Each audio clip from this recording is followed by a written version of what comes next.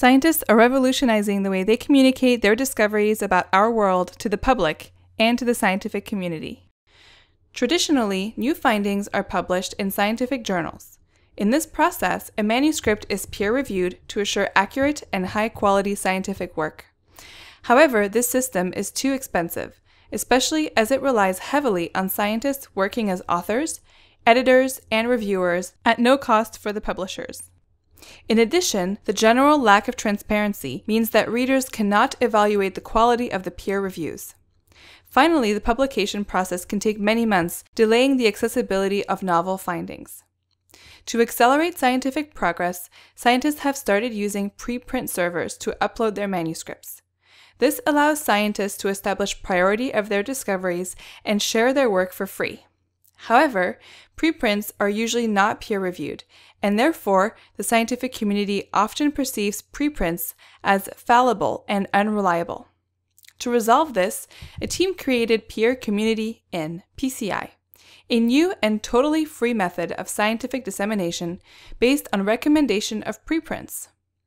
A PCI is a group of hundreds of scientists within a scientific discipline, for example, neurobiology, evolutionary biology, chemistry, etc., who evaluate and recommend preprints. By this process, a scientist can deposit a manuscript into an open access preprint server for free. The author can then request a free recommendation of the preprint from the peer community in his field. If a scientist from this PCI reads the preprint and thinks it is particularly interesting, they can become the recommender of this preprint and ensure it is reviewed by two or more peer reviewers. The recommender then sends their comments and the peer reviews, including any requested modifications, to the author. The author then updates the manuscript with its improvements or further experiments and deposits a new version to the preprint server. After one or several rounds of peer review, the recommender decides whether to officially recommend the preprint. If so, the recommender writes a short, formal recommendation explaining why the preprint is remarkable and should be read and shared by the rest of the scientific community.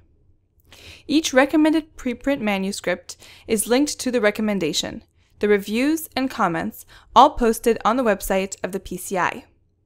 This provides transparency to the scientific community and encourages the recommender and the reviewers to make high quality evaluations.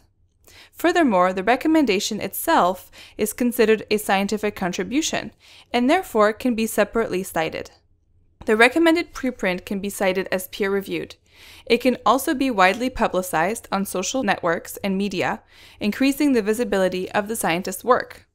At this point, the author can submit their work to a traditional scientific journal for publication if they choose.